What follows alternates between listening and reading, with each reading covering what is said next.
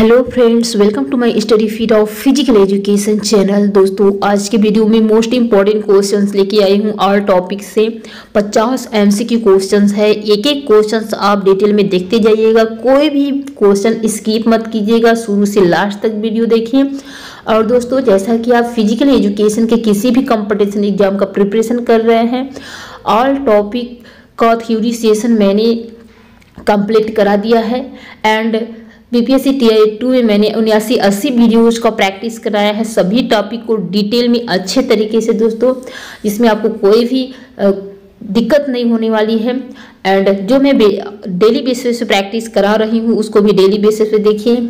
आज से मैं स्टार्ट कर रही हूँ। मेरे पास ग्यारह, बारह हज़ार क्वेश्चन हैं। मैं डेली बेसिस पे आपको कोशिश करूँगी कि डेली एक वीडियो ज़रूर दूँ। और संभव हो सकेगा दो वीडियो भी अपलोड हो जाएगा बट डेली एक देने की कोशिश ज़रूर करूँगी। तो दोस्तों, जैसा कि आप कोई भी कंपटीशन का एग्ज़ाम प्रिपरेशन कर रहे हैं, मेरे साथ जुड़े रहिए डेली बेसिस पे। जैसा कि एक भी क्वेश्चन दोस्तों, बाहर से, बाहर नहीं होता है, जिसने भी आपने एग्ज़ाम दिए होंगे, मैंने आपको एक एक टॉपिक को अच्छे से कवर कराया हुआ है। तो चलते हैं आज के क्वेश्चंस की तरफ़। क्वेश्चन है दोस्तों 2012 ओलंपिक में उस खेल का नाम बताइए, जिसके फाइनल में आमने सामने एक ही देश की टीम थी। तो दोस्तों, वह खेल है बीच वॉलीबॉल। 2012 दोस्तों, लंदन में हुआ था और यह तीसवा ओलंपिक था, जिसमें भारत ने छह पदक जीता था। दो रजत एंड चार कांस्य पदक। दो रजत पदक, जिसमें से कुश्ती में दो पदक एक रजत, एक कांस्य। कुश्ती में एक रजत पदक सुशील कुमार, छाछठ के जी फ्री स्टाइल में। और एक कांस्य पदक कुश्ती में योगेश्वर दत्त, साठ के जी फ्री स्टाइल में। एंड दो निशानेबाजी में, जिसमें से एक रजत, एक कांस्य जीता था। तो निशानेबाजी में एक रजत पदक जीता था Vijay Kumar 25 metre rapid fire pistol में। एंड निशानेबाजी में कांस्य पदक Gagan Narang 100 metre air rifle में जीता था। एंड दोस्तों, जो जयदीप कर्माकर था, जयदीप कर्माकर जो है 50 मीटर एयर राइफल प्रोन में सिर्फ़ एक अंक से कांस्य पदक से चुके थे। तो ये क्वेश्चंस भी आ सकता है, जैसा कि 2012 लंदन ओलंपिक का क्वेश्चन टी टू में आया हुआ था। एंड दोस्तों, बैडमिंटन में एक कांस्य पदक 2012 लंदन में साइना नेहवाल ने चीन के खिलाड़ी वेंग जिंग को एकल में, महिला एकल में हराकर जीती थी? ये क्वेश्चन आया हुआ था। साइना नेहवाल ने किस ओलंपिक में कांस्य पदक जीता था? तो दोस्तों 2012 लंदन ओलंपिक में एक क्वेश्चन आया हुआ था। एंड मुक्केबाजी में कांस्य पदक एम सी मेरी काम ने जीता था। एंड दोस्तों तीसवा ओलंपिक 2031 2016 तीसवा ओलंपिक, रियो ओलंपिक जो है। सॉरी दोस्तों, रियो ओलंपिक जो है 2016 इकतीसवां ओलंपिक है, जिसमें दो पदक भारत ने जीता था, एक रजत पदक पीवी सिंधु, बैडमिंटन में, और एक कांस्य पदक, Sakshi Malik. And 2016 Rio Olympic में दीपा कर्माकर जो है, जिम्नास्टिक वर्ल्ड स्पर्धा में चौथे स्थान पर रही। नेक्स्ट क्वेश्चन है दोस्तों, जितना संभव हो सकेगा एक्सप्लेन करूँगी। नहीं तो आपके केवल क्वेश्चंस का आंसर देते जाऊँगी, क्योंकि आपको लगता होगा कि बहुत ज़्यादा डिले हो रहा है और टाइम वेस्ट हो रहा है। तो आपके अनुसार मैं कोशिश करूँगी कि शॉर्ट में कंप्लीट करने की। नेक्स्ट है, रंगा स्वामी कप किस खेल से संबंधित है? तो दोस्तों, आप सबको पता है, रंगा स्वामी कप हॉकी खेल से संबंधित है। वो भी रंगा स्वामी कप पुरुष हॉकी से रिलेटेड है। इसको भी याद रखिएगा रखिएगा, आधा अधूरा ज्ञान रहेगा तो हमेशा आप फंसेंगे। तो रंगा स्वामी कप पुरुष हॉकी से संबंधित है, जबकि लेडी रतन टाटा कप महिला हॉकी से रिलेटेड है। हॉकी के अंदर और कप एंड ट्रॉफी के अंतर्गत Beighton cup, Begum Rasool trophy Maharaja Randeep Singh gold cup, Dhyanchand trophy Nehru trophy Scindia gold cup, Lal Bahadur Shastri cup, Wellington cup, Indira Gandhi gold cup Azlan Shah cup, विश्व cup, Alps cup and Aga Khan cup, गुरु गप्पा gold cup, कोडाकू cup, Guru Nanak cup, Kalappa trophy आदि related है। Next है, कबड्डी की कौन सी शैली अंतर्राष्ट्रीय स्तर पर मान्य है? तो कबड्डी की तीन शैलियों में खेला जाता है, संजीवनी, अमर और ग्रामीणी, जो अंतर्राष्ट्रीय स्तर पर मान्य है, संजीवनी। नेक्स्ट है। निम्न में से पहला भारतीय कौन है, जिसने ग्रैंड स्लैम प्रतियोगिता जीती है? तो दोस्तों, वो है लियंडर पेस। लियंडर पेस जो है, पहले भारतीय हैं जो ग्रैंड स्लैम प्रतियोगिता जीते हैं। और लियंडर पेस ने ओलंपिक में, उन्नीस सौ छियानबे अटलांटा ओलंपिक में कांस्य पदक जीते हैं। नेक्स्ट है, पहला विश्व कप फुटबॉल किस देश में आयोजित हुआ था? तो दोस्तों, पहला विश्व कप फुटबॉल यानी फीफा वर्ल्ड कप उरुग्वे 1930 में संपन्न हुआ था। ठीक है, उरुग्वे 1930 में पहला वर्ल्ड कप शुरू हुआ था। एंड दोस्तों, इक्कीसवां बाईसवां world cup, FIFA world cup 2022 Doha, Qatar में संपन्न हुआ है। एंड तेईसवां 2026 में संपन्न होगा संयुक्त राज्य अमेरिका, मैक्सिको, कनाडा में। एंड नेक्स्ट है, उस जर्मन देश का, उस जर्मन देश के खेल का नाम बताइए, जिस पर बास्केटबॉल खेल आधारित है। तो वो है कॉर्फ बॉल। नेक्स्ट है, महिलाओं के लिए राष्ट्रीय खेल समारोह किस सन में शुरू किया गया? तो दोस्तों, महिलाओं के लिए राष्ट्रीय खेल समारोह 1975 से शुरू किया गया। नेक्स्ट है, भारत में ओलंपिक भवन बनाने की योजना किस शहर में है? तो ये इसका राइट आंसर होगा नई दिल्ली। दोस्तों, इसको आप कंफर्म कर लीजिएगा। मैं हंड्रेड परसेंट कंफर्म नहीं हूँ, निन्यानवे परसेंट हूँ। नेक्स्ट दोस्तों, विश्व शारीरिक शिक्षा कांग्रेस का मुख्यालय कहाँ स्थित है? तो यह अमेरिका में स्थित है।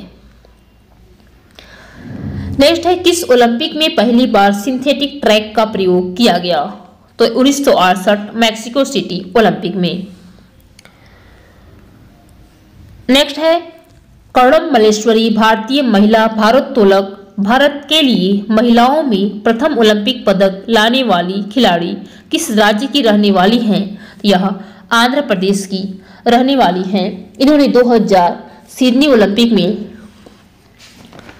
2000 सिडनी ओलंपिक में भारत के लिए कोई पदक जीतने वाली प्रथम महिला है। एंड दोस्तों नेक्स्ट क्वेश्चन है। क्रिकेट का कौन सा मैदान सबसे ऊंचाई पर स्थित है? वो है हिमाचल प्रदेश में स्थित चैल इंडिया। नेक्स्ट है विंड गेज के संबंध में क्या विषम है? दोस्तों विंड गेज हवा का वेग मापता है और विंड वांड गेज हवा की दिशा मापता है। एक क्वेश्चन आ सकता है, जो भी मैं बता रही हूँ दोस्तों, ध्यान से सुनिएगा। तो विंड गेज हवा का वेग मापता है। तो हवा का वेग जो है, खेलों में 100-200 मीटर दौड़ में मापा जाता है, लंबी कूद में मापा जाता है, लंबी कूद, ऊँची कूद में मापा जाता है एंड 100 110 मीटर बाधा दौड़ में और 100 200 दौड़ में। तो दोस्तों, जैसे कि जो 100 यहाँ पे आंसर हो जाएगा, क्या विषम है? तो 400 मीटर में हवा का वेग नहीं मापा जाता है। 100 मीटर बाधा दौड़ 200 मीटर दौड़, लंबी कूद में मापा जाता है। 100 मीटर 200 मीटर दौड़ में, जैसे कि जो 100-200 मीटर दौड़ में हवा का वेग 10 सेकेंड मापा जाता है। और बाधा दौड़ में, बाधा है तो तेरह सेकेंड ज़्यादा समय लगेगा। एंड लंबी कूद, जंप करना है तो इसमें पाँच सेकेंड का हवा का वेग मापा जाता है। एक क्वेश्चन आया था यूपी टीजेटी 2021 में। नेक्स्ट है, विश्व का सबसे पुराना खेल कौन सा है? तो दोस्तों, कुश्ती है। ऑप्शन नंबर घ, यहाँ पे राइट है। नेक्स्ट है, निम्न में से किस खेल का संबंध थॉमस कप से है? दोस्तों, थॉमस कप का संबंध बैडमिंटन से है। यहाँ पे दोनों चीज़ें याद रखेगा थॉमस कप बैडमिंटन पुरुष से पुरुष से है, जबकि उबेर कप बैडमिंटन महिला से है। थॉमस कप बैडमिंटन पुरुष, जो 1948 से शुरू हुआ है, और उबेर कप बैडमिंटन महिला, जो उन्नीस से शुरू हुआ है। नेक्स्ट है, प्रत्येक वर्ष के पहले माह जनवरी में कौन सा ग्रैंड स्लैम टूर्नामेंट शुरू होता है? तो दोस्तों ग्रैंड स्लैम टूर्नामेंट जो है, चार है। Australian open, French open Wimbledon open, and US open. तो जनवरी के प्रत्येक वर्ष के पहले माह, शुरुआत में ऑस्ट्रेलियन ओपन शुरू होता है। जैसे कि दोस्तों, ग्रैंड स्लैम टूर्नामेंट जो है टेनिस के एक साल में चार बड़े टूर्नामेंट आयोजित होते हैं। ग्रैंड स्लैम किसे बोला जाता है? एक वर्ष में चारों टूर्नामेंट को जीतने वाले खिलाड़ी को। जिसमें से ऑस्ट्रेलियन ओपन 1905 में शुरू हुआ, जो विक्टोरिया के मेलबोर्न पार्क में खेला जाता है। जनवरी के माह में हार्ड कोर्ट पर और फ्रेंच ओपन अठारह से खेला जा रहा है, जिसको फ्रेंच ओपन को रोनाल्ड गैरोस भी बोला जाता है। यह फ्रांस, पेरिस के स्टैंड रोनाल्ड गैरोस स्टेडियम में खेला जाता है। मई जून के मई जून में क्ले कोर्ट पर यानी लाल मिट्टी की बजरी पर। तीसरा होता है बिम्बल्डन ग्रैंड स्लैम, जो इंग्लैंड में है। सबसे पुराना टेनिस का ग्रैंड स्लैम है, जो टेनिस का सबसे सर्वश्रेष्ठ है। ग्रैंड स्लैम टूर्नामेंट बोला जाता है बिम्बल्डन को, जो 1877 से शुरू हुआ। जो जून जुलाई महीने में खेला जाता है ग्रास कोर्ट पर। और चौथा है यूएस ओपन, जो अमेरिका में अठारह सौ इक्यासी से शुरू हुआ। और अगस्त सितंबर महीने में खेला जाता है हार्ड कोर्ट पर।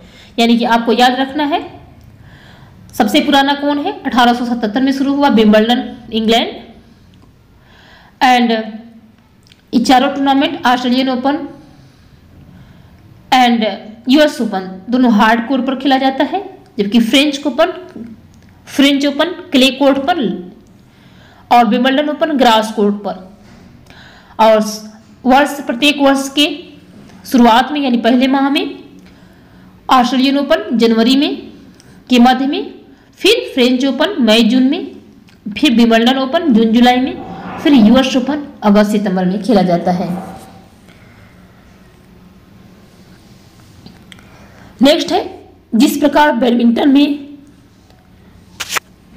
बैडमिंटन चैंपियनशिप है, उसी प्रकार टेनिस में कौन सी चैंपियनशिप है? तो वह है डेविस कप। नेक्स्ट है, खेलों में दिए जाने वाला विश्व का सर्वश्रेष्ठ पुरस्कार कौन सा है? वो है ओलंपिक आर्डर पुरस्कार। विश्व का सर्वश्रेष्ठ और भारत का सर्वश्रेष्ठ, राजीव गांधी खेल रत्न पुरस्कार था, लेकिन अब उसका नाम बदल करके मेजर ध्यानचंद खेल रत्न पुरस्कार कर दिया गया है। नेक्स्ट क्वेश्चन है, दाएँ हाथ के लेग स्पिनर गेंदबाज की बॉल टप्पा पड़ने पर ऑफ़ स्टंप की बजाय अंदर की तरफ़ मिडिल स्टंप या लेग स्टंप की तरफ़ जाए तो उसे क्या कहेंगे? तो दोस्तों, उसे कहा जाएगा गुगली नेक्स्ट है, किस ओलंपिक में विजेताओं को मेडल स्वर्ण, रजत और कांस्य नहीं दिए गए? तो सबसे पहले जानिए कि विजेताओं को मेडल देने की शुरुआत स्वर्ण रजत कांस्य की हुआ 1904 सेंट लुइस ओलंपिक में। तो जब 1904 से शुरू हुआ तो 1900 में तो होगा नहीं। यहाँ पे राइट आंसर हो जाएगा। 1900 पेरिस, फ्रांस में नहीं दिए गए थे। 1904 से शुरू हुआ, जिसमें लगातार दिया जा रहा है। नेक्स्ट है, ओलंपिक के छल्लों में ऊपर की तरफ़ कितने छल्ले होते हैं? तो ओलंपिक में पाँच छल्ले होते हैं, पाँच कलर के, नीला, पीला, काला, हरा, लाल और नीला, यूरोप महाद्वीप का प्रतीक, पीला, एशिया महाद्वीप का प्रतीक, काला, अफ्रीका महाद्वीप का प्रतीक, हरा, ऑस्ट्रेलिया महाद्वीप का प्रतीक और लाल, अमेरिका महाद्वीप का प्रतीक। ये पाँचों छल्ले पाँच महाद्वीप के प्रतीक होते हैं, जो दुनिया की एकता को प्रदर्शित करते हैं। तो ओलंपिक के छल्लों पर ऊपर की तरफ़ कितने छल्ले होते हैं? तो इस छल्ले बना बना कैसे जाता है दोस्तों? अंग्रेज़ी के डब्लू के समान बनता है। तो यहाँ पे आप देख सकते हैं, ऊपर के, ऊपर में कितने छल्ले हैं? तीन छल्ले हैं। तो राइट आंसर क्या हो जाएगा? तीन। ठीक है? एंड नेक्स्ट क्वेश्चन है। फादर हेनरी डिडाउन किस देश के रहने वाले थे? तो दोस्तों, ये स्विट्जरलैंड के रहने वाले थे। इन्होंने ही Olympic motto C T S R T S Fortius की रचना की। C T S S Fortius यानी फास्टर, हायर, स्ट्रांगर, और तेज, और ऊँचा, और बलशाली। अब इसमें जुड़ गया है चौथा शब्द टुगेदर इसका मतलब होता है एक साथ। कम्युनिटर जुड़ा है दोस्तों, जैसे C T S R T S fortius and कम्युनिटर जो बीपीएससी टी आर टू में पूछा हुआ था। कम्युनिटर मतलब टूगेदर यानी एक साथ। नेक्स्ट दोस्तों, निम्न में क्या विषम है? तो इसमें विषम है ओलंपिक ऑर्डर पुरस्कार। नेक्स्ट है, भारत में किसी ओलंपिक ऑर्डर के स्वर्ण पदक से नवाजा गया है। तो विश्व में सबसे बड़ा पुरस्कार होता है ओलंपिक ऑर्डर पुरस्कार, जो भारत में इंदिरा गांधी को नवाजा गया है। नेक्स्ट है योनेक्स नामक बहुचर्चित कंपनी, जो खेलों के उपकरण जैसे बैडमिंटन, गोल्फ, टेनिस आदि उपकरण बनाता है, उसका संबंध किस देश से है? तो इसका संबंध है जापान से। नेक्स्ट है, एकमात्र भारतीय खिलाड़ी का नाम बताइए, जिसे भारत के सर्वोच्च तीनों खेल पुरस्कार, अर्जुन पुरस्कार, राजीव गांधी खेल रत्न पुरस्कार, द्रोणाचार्य पुरस्कार मिले हैं। वो है दोस्तों पुलिला गोपी चंद्र बैडमिंटन खिलाड़ी एंड कोच दोनों है। नेक्स्ट है ओमेगा नामक कंपनी, किस देश से है तो यह है स्विट्जरलैंड। नेक्स्ट है, एडिडॉस एडिडॉस कंपनी का संबंध किस देश से है? यह जर्मनी से है। नेक्स्ट दोस्तों, भारत का गोल्डन ओलंपिक किसे कहा जाता है? तो दोस्तों, भारत अधिकार, सबसे पहले भारत ने भाग लिया 1900 पेरिस फ्रांस में। लेकिन आधिकारिक रूप से भाग लिया भारत ने उन्नीस सौ अट्ठाईस हॉलैंड ओलंपिक में, जिसमें भारत ने सबसे पहले हॉकी में स्वर्ण पदक प्राप्त किया, जिसमें कप्तान थे जयपाल सिंह। हॉकी में भारत ने ओलंपिक में अभी तक में कुल आठ स्वर्ण पदक, एक रजत, एंड तीन कांस्य पदक जीते हुए हैं, यानी कुल 12 पदक। जिसमें से 1928 से स्टार्ट होकर लास्ट में स्वर्ण पदक 1980 मास्को तक जीते। एंड 1960 में इन्होंने रजत पदक, हॉकी में रजत पदक भारत ने जीता है। और कांस्य पदक उन्नीस व उन्नीस और 2020 टोक्यो ओलंपिक में जीता है। इस प्रकार आठ स्वर्ण, एक रजत, तीन कांस्य पदक जीते हैं। नेक्स्ट है, उस अभ्यास को क्या कहते हैं, जिसमें कम तीव्रता तथा कम कम तीव्रता के साथ अभ्यास अभ्यास करते हुए ऑक्सीजन ग्रहित की जाती है। तो दोस्तों, कम तीव्रता किसमें होती है? जो इंडोरेंस वाले खेल होते हैं, ज़्यादा समय की खेल होते हैं एरोबिक क्रियाएँ होती हैं और ऑक्सीजन के साथ किसमें हुआ है? होता है एरोबिक एरोबिक मतलब ऑक्सीजन के साथ, यहाँ पे एरोबिक आपका राइट हो जाएगा। और हाई तीव्रता तीव्रता होता ऑक्सीजन के बिना होता तो अन एरोबिक हो जाता। एक क्वेश्चन भी पूछा हुआ था दोस्तों, एक भी क्वेश्चन ऐसा नहीं था जो आपको न बताया गया हो। नेक्स्ट दोस्तों बीएमआई यानी बॉडी मास इंडेक्स क्या मापता है? तो दोस्तों, यह शरीर की वसा को मापता है, ये क्वेश्चन भी आया हुआ था। नेक्स्ट दोस्तों, जोड़ की उस क्षमता को क्या कहते हैं, जिसमें वह लंबे प्रसार तक करने में सहायक होता है? दोस्तों ग्रेटर रेंज ऑफ़ मूवमेंट्स लंबे प्रसार तक तो वो होता है फ्लेक्सिबिलिटी लचीलापन, लचकता, ठीक है? नेक्स्ट दोस्तों ओ सी ओ जी क्या है? तो ओ सी ओ जी जो है ओलंपिक का आयोजन करने वाली एक संस्था है। नेक्स्ट दोस्तों, निम्न में से शरीर की सबसे मज़बूत मांसपेशी कौन है? तो सबसे स्ट्रांगेस्ट मसल्स है, जबड़े की मांसपेशी, यानी मसेटर मसल्स सबसे बड़ी मसल्स है ग्लूटियस मैक्सिमस कुल्हे की सबसे लंबी मसल्स है सार्टोरियस सबसे छोटी मसल्स है कान का स्टेपेडियस याद रखिएगा। नेक्स्ट है शरीर का सबसे मज़बूत अस्थि कौन है? सबसे मज़बूत अस्थि होता है जबड़े की मैंडिबल और सबसे लंबी अस्थि होती है जांग की फीमर सबसे छोटा अस्थि होता है कान का स्टर स्टेपस नेक्स्ट है फाउंडेशन ऑफ़ फ़िज़िकल एजुकेशन नामक पुस्तक के लेखक कौन है? तो फाउंडेशन ऑफ़ फ़िज़िकल एजुकेशन के लेखक हैं चार्ल्स से बूसर नेक्स्ट है, निम्न में से किस रोग को साइकोमैटिक की श्रेणी में रखा गया है? तो दोस्तों साइकी साइकोसोमेटिक जो है, मनोदैहिक रोग कहा जाता है अस्थमा को, यानी दमा को। नेक्स्ट है दोस्तों कम से कम कितने खिलाड़ी बास्केटबॉल मैच को शुरू करने के लिए चाहिए होता है? तो पाँच खिलाड़ी, कम से कम पाँच खिलाड़ी। नेक्स्ट है। उस खिलाड़ी का नाम बताएँ, जिसमें 1924 पेरिस ओलंपिक में 100 मीटर फ्री स्टाइल में स्वर्ण पदक जीता। बाद में यह खिलाड़ी हॉलीवुड में टार्जन नाम से मशहूर हुआ। तो दोस्तों, आपको पता ही है यह खिलाड़ी कौन है? तो यह खिलाड़ी है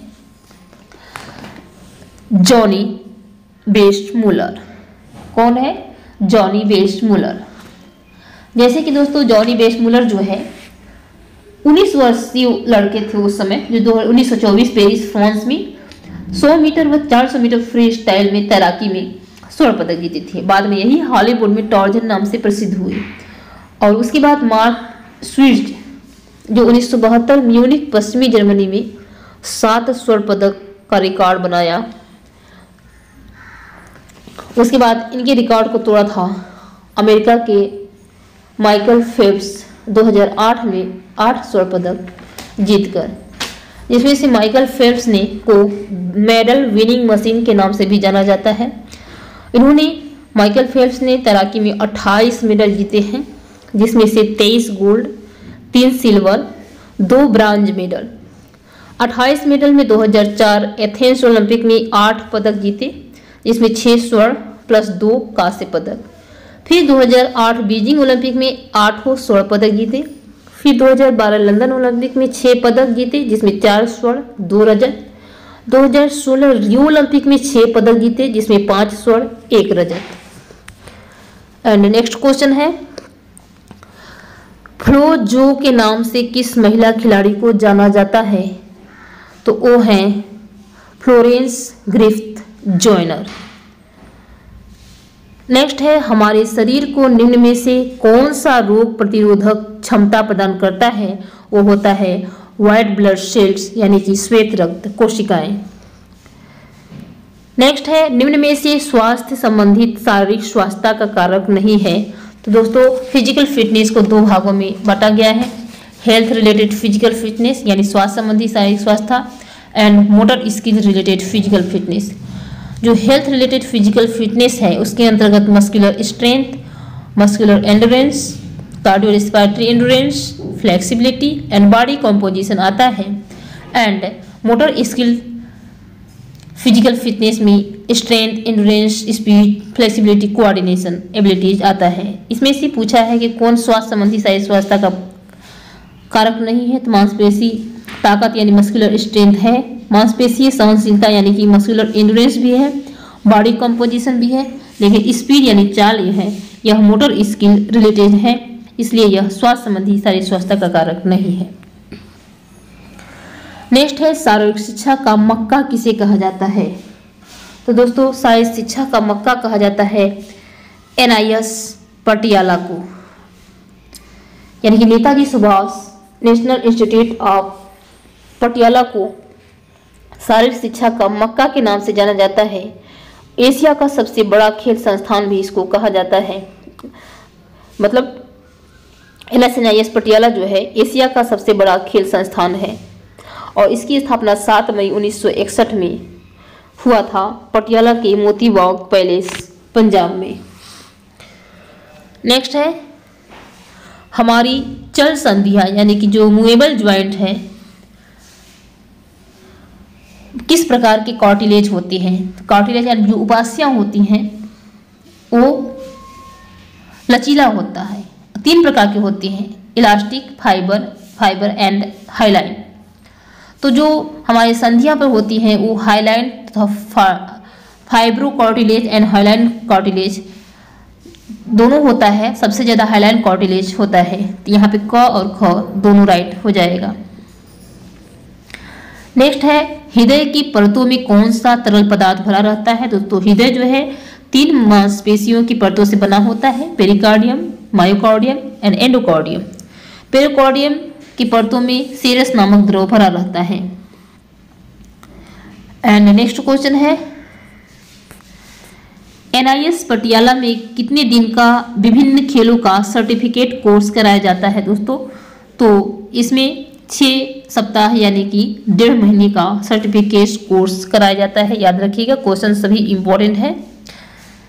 नेक्स्ट है विकेट कीपर कैच लेते समय अपने दोनों हाथों को नीचे की तरफ़ क्यों खींचता है? यह न्यूटन के किस नियम पर आधारित है दोस्तों? तो यह क्यों यह न्यूटन के दूसरे नियम के कारण होता है? क्योंकि जो संवेग होता है, गति की दिशा में होता है। नेक्स्ट है, एक लंबी रेस के धावक में, निम्न में से सबसे अधिक खपत किसकी होती है? तो लंबी रेस यानी कि इंडोरेंस की बात हो रहा है, सहनशीलता की बात हो रहा है तो सहनशीलता में हमेशा कार्बोहाइड्रेट की आवश्यकता ज़्यादा होगी और स्ट्रेंथ में बॉडी बिल्डिंग फ़ूड प्रोटीन की आवश्यकता ज़्यादा होगी। नेक्स्ट है, एक मिनट में निलय द्वारा बाहर आए रक्त की मात्रा को क्या कहते हैं? दोस्तों, ये भी क्वेश्चन आया था कार्डियक आउटपुट इसे कहा जाता है। एक मिनट में हृदय के निलय द्वारा बाहर आए रक्त को कार्डियक आउटपुट और एक धड़कन में निलय द्वारा पंप किए गए रक्त को स्ट्रोक वॉल्यूम कहा जाता है, जो 70 एम होता है और कार्डियक आउटपुट ज्ञात करने का सूत्र होता है। स्ट्रोक वॉल्यूम गुड़े हार्ट रेट यानी 70 एम आपका होता है स्ट्रोक वॉल्यूम और बहत्तर बार होता है एक मिनट में आपका हार्ट रेट तो 70 गुड़े बहत्तर का अगर गुड़ा करेंगे तो पाँच दशमलव ज़ीरो चार लीटर आपका राइट होगा, यानी कार्डियक आउटपुट यानी एक मिनट में होता है पाँच दशमलव ज़ीरो चार लीटर। नेक्स्ट है निम्न में से अधिक सक्रिय कारक कौन सा है, जिसके कारण खिलाड़ी को चोट लगती है? तो दोस्तों, खेल के नियमों का पालन न करना। ये सभी कारक हैं, लेकिन सबसे सक्रिय है खेल के नियमों का पालन न करना। तो दोस्तों, ये था आज का वीडियो, जिसमें से आपको प्रैक्टिस सेट एक के अभ्यास वन का प्रैक्टिस कराया गया है। इसी तरह मैं डेली बेसिस पे आपको प्रैक्टिस कराती रहूँगी। और जो भी डाउट होगा कमेंट में ज़रूर बताइए। और मैं डाउट क्लियर करने की पूरी कोशिश करूँगी। तो मिलते हैं नेक्स्ट वीडियो में नेक्स्ट टॉपिक के साथ नेक्स्ट प्रैक्टिस सेट के साथ। तब तक के लिए जय